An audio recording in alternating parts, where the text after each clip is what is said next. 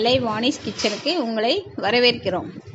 இது வரைக்கும் சப்ஸ்கிரைப் பண்ணாதவங்க சப்ஸ்கிரைப் பண்ணுங்கள் பெல் பட்டன் ப்ரெஸ் பண்ணுங்கள் இன்றைக்கி கத்திரிக்காய் கொத்தமல்லி வச்சு புதுவிதமான சட்னி எப்படி செய்யலான்னு பார்ப்போம். இதுக்கு தேவையான பொருட்கள் கத்திரிக்காய் கொத்தமல்லி இலை வெங்காயம் பச்சை மிளகாய் புளி ஒரு நெல்லிக்காய் அளவு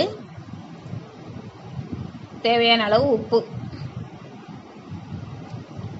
இப்பொழுது வானிலை எண்ணெய் விட்டு பச்சை மிளகாய் அதில் போட்டு வதக்கணும். நல்லா வதங்கின மிளகாய் நல்ல வாசனையாக இருக்கும். நல்லா வதக்கி நல்ல ஓரளவு மிளகா வதங்கினதும் அது கூட கத்திரிக்காயை சேர்க்கணும். பொடி பொடியாக வெட்டி வச்சுக்க கத்திரிக்காய் அதை கூட சேர்த்து வதக்கணும்.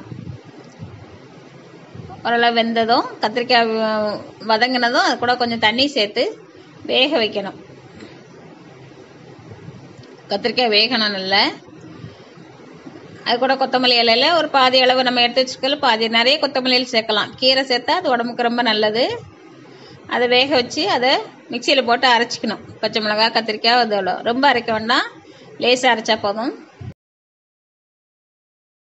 சட்டியில் எண்ணெய் விட்டு கடுகு கொத்து பருப்பு போட்டு அதில் கொஞ்சம் வெங்காயம் சேர்த்து வதக்கணும்.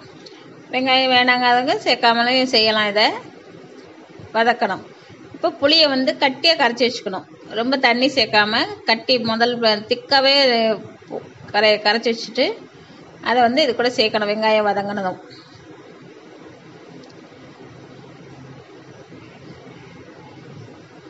கட்டியாக திக்காக கரைச்சி விட்டு இதில் விடணும் அப்புறம் புளி வந்து நல்லா கொதிக்கணும்.